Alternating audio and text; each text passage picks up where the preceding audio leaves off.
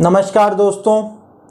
आज के इस वीडियो के माध्यम से हम एक काफ़ी महत्वपूर्ण टॉपिक के ऊपर चर्चा करने जा रहे हैं, जो वर्तमान में कई स्टूडेंट्स और कैंडिडेट के मन में चल रहा है कि किसकी तैयारी करें। जैसा कि आप लोगों को पता है कि वर्तमान में कई वैकेंसीज निकाली जा चुकी हैं, जैसे कि यदि हम बात करें, का स्कूल व्याख्याता।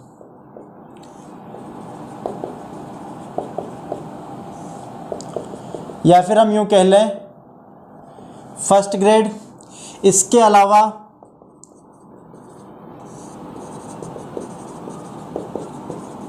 वरिष्ठ अध्यापक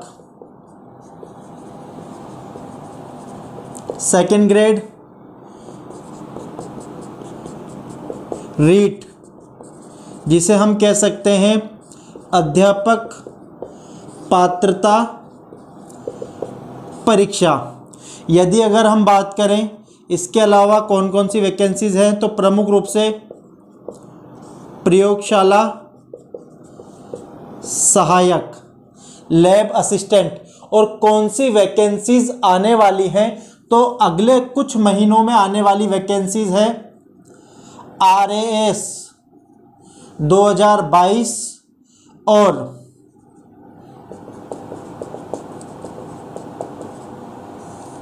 असिस्टेंट प्रोफेसर। 2022 जिसे हम कह सकते हैं कॉलेज लेक्चरर 2022 तो ये दो वैकेंसीज आने वाली हैं और ये वैकेंसीज आ चुकी है। इन सभी वैकेंसीज को लेकर स्टूडेंट्स के मन में एक सवाल है और कई बार स्टूडेंट और कैंडिडेट मुझसे ये पूछते हैं कि, सर, किसकी तैयारी करें, ठीक है? इसके बारे में आपको कई लोग मिल जाएँगे सलाह देने वाले। मैं आपको इसे अपने अनुभव, जो मेरे अनुभव है, उनके माध्यम से आपको समझाने का प्रयास करूँगा, जिससे आप अपने जीवन का यह महत्वपूर्ण डिसीज़न ले सके कि आपको किसकी तैयारी करनी चाहिए। एक बार इस वीडियो को अंत तक देखें और फिर आप इस स्थिति में आ जाएँगे। आप ये डिसीज़न ले पाएँगे कि हमें किस परीक्षा की तैयारी करनी चाहिए। देखिए, जिन कैंडिडेट्स ने बीएड कर रखी है, वह इन तीनों वैकेंसीज को दिमाग में रखकर तैयारी करते हैं। जो भी बीएड कर रखी है, वो क्या सोचते हैं कि फ़र्स्ट ग्रेड सेकंड ग्रेड और थर्ड ग्रेड टीचर की तैयारी क्या कर ले? हम कर लें। और जो आरएस की तैयारी कर रहे हैं, वो आरएस के लिए जाते हैं। और असिस्टेंट प्रोफेसर में आपके जो नेट क्वालिफाई कैंडिडेट्स आ जाते हैं, वो आ जाते हैं। तो इन दो के प्रति जो कैंडिडेट्स है, उनकी संख्या क्या होती है? थोड़ी कम होती है। लेकिन अगर हम यहाँ पे बात करें तो यहाँ पर देखिए आपको लगभग साठ हज़ार पद दिखाई देते हैं। कितने पद दिखाई देते हैं? लगभग साठ हज़ार पद दिखाई देते हैं। यहाँ पर आपको लगभग हज़ार पद जो अलग अलग सब्जेक्ट में है, वो दिखाई देते हैं। और यहाँ पर आपको लगभग पाँच हज़ार पदों के लिए फ़र्स्ट ग्रेड की वैकेंसी दिखेंगी। और अगर हम सब्जेक्ट वाइज बात करें तो लगभग सेवन नाइन थ्री यह किस विषय में है? भूगोल में है और लगभग इतिहास में भी 800 या इससे थोड़ा आगे पीछे हो सकते हैं। इतने ही पदों के लिए वैकेंसी निकाल रखी है। तो अब हमारे दिमाग में सवाल आता है कि हमें किसकी तैयारी करनी चाहिए? कई बार कैंडिडेट ये सोचते हैं कि अरे, हम तीनों की तैयारी एक साथ कर ले क्या पता किसी में तो हो ही जाएगा। एक सवाल दिमाग में यह आता है, दूसरा सवाल यह आता है कि रीट, इसमें साठ हज़ार पद हैं, हमें इसकी तैयारी करनी चाहिए। सेकंड चीज़ आपके दिमाग में यह आती है कि सेकंड ग्रेड में ज़्यादा चांस हैं। जैसे अगर हम सामाजिक विज्ञान की बात करें तो लगभग 1600 के आसपास पद हैं तो हमें सेकंड ग्रेड की तैयारी करनी चाहिए।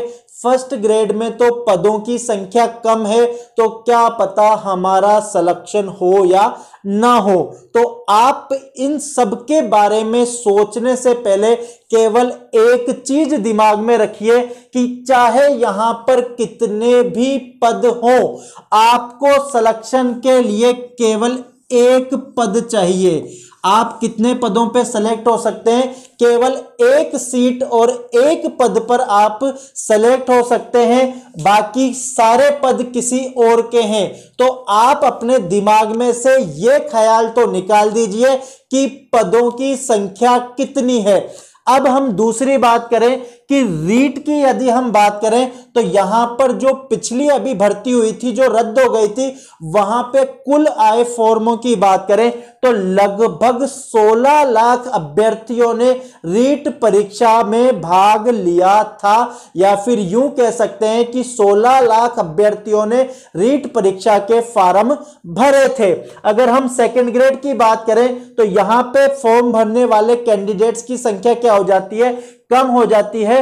और यदि हम फ़र्स्ट ग्रेड की बात करें तो यहाँ पर क्या हो जाती है? फॉर्म भरने वाले कैंडिडेट्स की संख्या कम हो जाती है। अब देखिए, आप यदि कैंडिडेट हैं, आप यदि स्टूडेंट हैं, आप काफ़ी समय से तैयारी कर रहे हैं तो आपको आपकी योग्यता का पूरा का पूरा ध्यान है कि क्या मैं अध्यापक पात्रता परीक्षा रीट में सेलेक्ट हो सकता हूँ? क्या मैं सेकंड ग्रेड में सेलेक्ट हो सकता हूँ?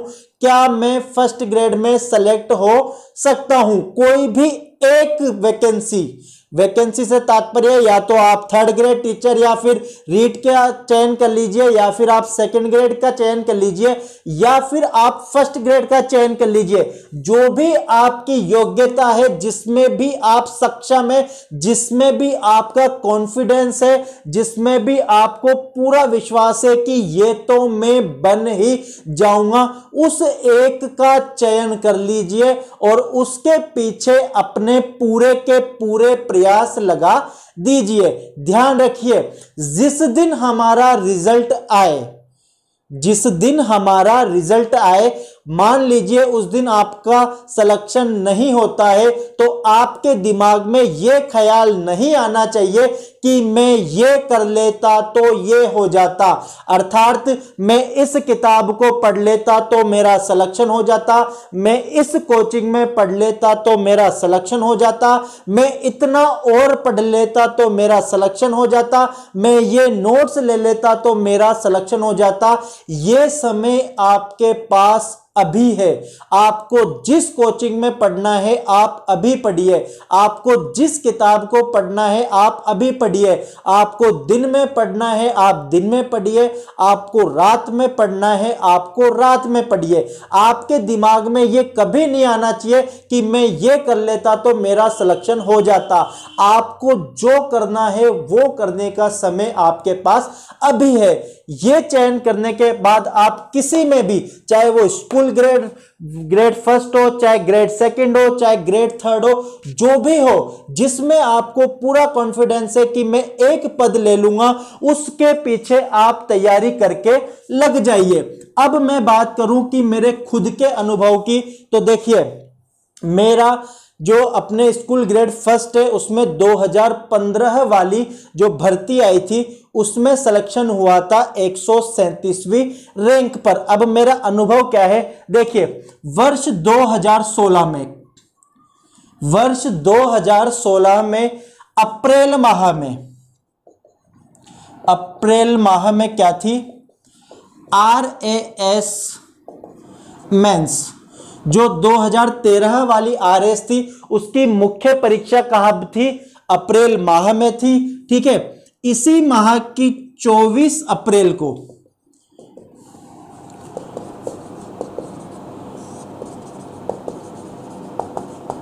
कॉलेज व्याख्याता का जीके का पेपर हुआ था। आप आरपीएससी की साइट्स पर जाके देख सकते हैं, पुराने पेपर हैं। वहाँ पर आपको पता चल जाएगा कि किस किस तारीख को कौन सी परीक्षा हुई थी, ठीक है? यहीं पर जून के अंतिम सप्ताह प्लस जुलाई के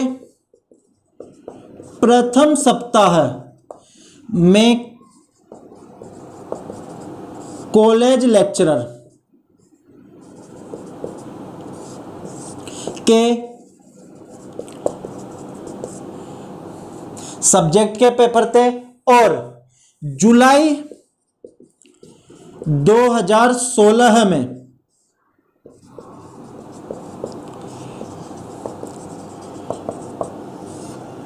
स्कूल व्याख्याता की परीक्षा थी, जिसमें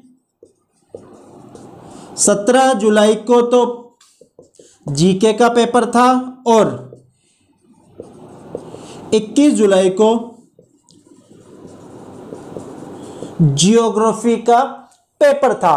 अब यहाँ पर देखिए मैं मेरी स्थिति आपको बता रहा हूँ कि उस समय 2007 से लेके 2014-15 तक मैंने आरएएस की तैयारी की। जब मैंने ग्रेजुएशन कंप्लीट की तो मेरा एक ही ख्वाब था कि मुझे आरएस के लिए जाना है। 2010 वाली परीक्षा में मैंने मेंस लिखा 2012 वाली वैकेंसी में मैं इंटरव्यू तक पहुँचा और 2013 की मैं प्री क्लियर करके था और मेंस की परीक्षा मेरे सामने थी। मेरा जो जीवन का एक ख्वाब था, वो सामने था आर एस मेंस 2013 ठीक है? कॉलेज व्याख्या था, चूँकि मैं नेट सेलेक्टेड था और आप जानते हैं कि हर पिता का एक स्वप्न होता है कि उसका बेटा ये करे। वैसे ही मेरे पिता ने मेरे लिए एक स्वप्न देखा था कि मेरा बेटा कॉलेज लेक्चरर बने। यहाँ पे पिताजी के ख्वाब थे। और यहाँ पर क्या था? सामाजिक दबाव। आप एक चीज़ समझ सकते हैं कि जैसे जैसे हमारी एक उम्र बढ़ती जाती है, वैसे हमारे ऊपर नौकरी लगने का एक दबाव सा बढ़ता जाता है। आज के जमाने में केवल आपका जो इंटेलिजेंसी है या आप कितने इंटेलिजेंट हैं, इसका आकलन जो समाज है वो कैसे करता है कि क्या आप सरकारी नौकरी में हैं? यदि आप नौकरी लग गए, इसका मतलब है आप इंटेलिजेंट हैं। यदि आप नौकरी नहीं लगे तो हमारे ही पड़ोसी, हमारे ही परिवार वाले कह देते कि, अरे, ये तो पढ़ता ही नहीं था। तो यहाँ पर क्या था?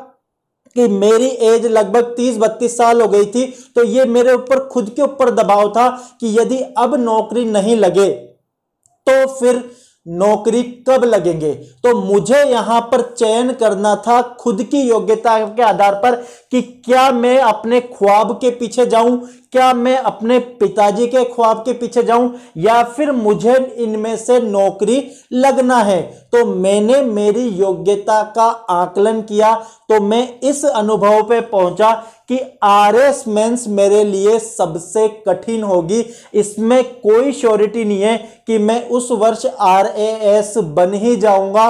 तो यहाँ पर मैंने आर एस मेंस को छोड़ा। हाँ अप्रैल माह में जो परीक्षा हुई थी, मुख्य परीक्षा में उसमें शामिल नहीं हुआ। एक बहुत कठोर निर्णय था जो मैंने लिया। आप विश्वास नहीं करेंगे कि मैं रोज रात को पढ़ने बैठता और जैसे ही रात के दो तीन बजते, मैंने वर्ल्ड हिस्ट्री उठा के पढ़ने लग जाता कि क्या पता थोड़ा सा पढ़ ले, अपना हो ही जाए। लेकिन एक दिन मैं इस निष्कर्ष पे पहुँचा कि जब 2012 में मैं साल भर पढ़ा था तभी मेरा आरएस में सिलेक्शन नहीं हुआ। तो इस थोड़ी सी पढ़ाई से मेरा क्या सिलेक्शन हो जाएगा तो मैंने वहाँ पर उसको छोड़ा। कॉलेज व्याख्याता में केवल 100 पद थे तो मैंने यहाँ पर भी चांसेस कम थे तो मैंने इसको भी छोड़ा। लेकिन मुझे यह पूरा विश्वास था कि मैं स्कूल व्याख्या तो बन ही जाऊँगा। तो मैंने अपना, देखिए, जीवन का सबसे कठोर निर्णय लिया कि इन दो एग्ज़ाम्स को छोड़ के मैं केवल स्कूल व्याख्याता के पीछे गया। क्यों? क्योंकि मुझे ये विश्वास था कि मैं स्कूल लेक्चरर तो बन ही जाऊँगा। क्यों? क्योंकि मेरा सब्जेक्ट अच्छा था और मैंने काफ़ी मेहनत की थी। तो जब आपका सब्जेक्ट पे कमांड होती है और आप मेहनत करते हैं तो आपका सिलेक्शन कंफर्म हो ही जाता है। तो यही चीज़ मैं आपको बोल रहा हूँ कि लोगों की बातों में ना आए। कि इसकी तैयारी कर लो, क्योंकि आपको कई लोग मिल जाएँगे। अरे, पढ़ो तुम तो अगर तुम तैयारी करोगे तो सब में सिलेक्शन हो जाएगा। ये होता था 20-25 साल पहले तक। वर्तमान में प्रतियोगिता और प्रतिस्पर्धा इतनी ज़्यादा है कि आप जिस एग्ज़ाम की तैयारी करेंगे, आप वही बनेंगे। आपको बड़े बुज़ुर्ग ये कहते हुए मिल जाएँगे कि अरे, आरएस की तैयारी करो, कांस्टेबल तो बन ही जाओगे। आज के जमाने में जो आरएस की तैयारी करेगा, वो आरएस बनेगा, जो कांस्टेबल की तैयारी करेगा, वो कांस्टेबल बनेगा। ये कभी नहीं होता कि आरएस की तैयारी करने वाला कांस्टेबल बन जाए। वही चीज़ यहाँ पर मैं बोल रहा हूँ कि अगर आप स्कूल लेक्चरर की तैयारी करेंगे तो आप स्कूल लेक्चरर बनेंगे, आप सेकंड ग्रेड की तैयारी करेंगे तो आप सेकंड ग्रेड बनेंगे और अगर आप रीट की तैयारी करेंगे तो आप रीट के जो थर्ड ग्रेड के टीचर हैं हमारे, वो बनेंगे। तो ये डिसीज़न आपको लेना है। ये कोई नहीं बता सकता आपको कि आप क्या करें। अपनी योग्यता को पहचाने कि किस भर्ती में मैं पूरा का पूरा मेहनत करके अपनी एक पोस्ट को सिक्योर कर लूँगा। देखिए, मेहनत आपको करनी है, जवाब आपको देना है। यहाँ कोई आपके साथ नहीं आएगा कि, अरे, तूने ये क्या किया? अपने ऊपर विश्वास रखिए, आराम से सोचिए कि किसकी तैयारी करूँ। ऐसा नहीं है कि आप स्कूल लेक्चरर की तैयारी कर रहे हैं तो आप लैब असिस्टेंट ज्योग्राफी के बन जाएँगे। नहीं, उसका सिलेबस अलग है। यहाँ पर स्कूल लेक्चरर का सिलेबस अलग है। सेकंड ग्रेड में यदि हम एसएस की बात करें तो आपको यहाँ पर आठ मुख्य सब्जेक्ट पढ़ने पड़ रहे हैं। इतिहास, भूगोल, राजनीति, विज्ञान, लोक प्रशासन समाज शास्त्र अर्थशास्त्र दर्शन शास्त्र, ये आठ सब्जेक्ट आपको पढ़ने पड़ेंगे। फ़र्स्ट ग्रेड में आपको केवल आपके सब्जेक्ट के 120 क्वेश्चन आते हैं। उसके ऊपर कमांड रखनी है। रीट में साइकोलॉजी का लेवल अलग आता है। यहाँ पर जीके का पेपर है, उसका सिलेबस अलग है। तो ये धारणा मन में से निकाल दीजिए कि मैं इसकी तैयारी करूँगा तो मेरा इसमें सिलेक्शन हो जाएगा। नहीं, जिसकी तैयारी आप करेंगे, आपका सिलेक्शन उसमें होगा। चाहे आप किसी की भी तैयारी करें। अगर आपको लगता है कि मैं आरएस बनने लायक हूँ तो आपको केवल आरएस की तैयारी करनी चाहिए। यदि आपको लगता है कि मैं असिस्टेंट प्रोफेसर या कॉलेज कॉलेज लेक्चरर बन सकता हूँ तो केवल उसके पीछे जाइए। यदि आपको लगता है कि मैं स्कूल लेक्चरर बन सकता हूँ तो उसके पीछे जाइए। जिसके भी पीछे जाएँ, खुद की योग्यता का आकलन करें और उसके पीछे जाएँ। आशा करता हूँ कि यह वीडियो आपको इस निर्णय को लेने में सहायता करेगी कि आपको किसकी तैयारी करनी है। अगले वीडियो में किसी और टॉपिक पर आपसे चर्चा करेंगे। तब तक के लिए धन्यवाद।